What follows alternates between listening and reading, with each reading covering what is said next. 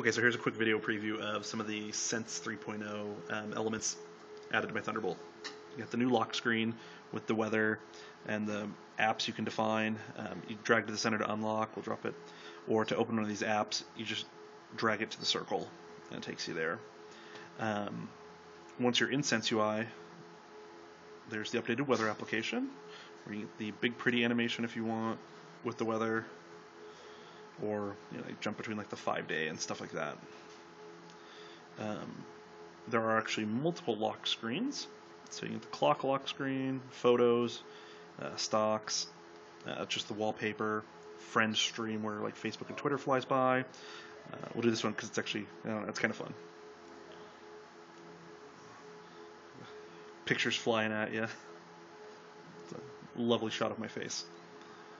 Um, and then, of course, there's the weather one, which is the one that I kind of like the most and have sitting on there.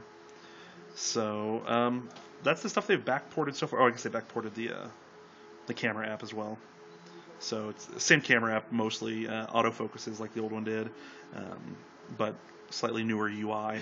So otherwise, uh, I think that's about it.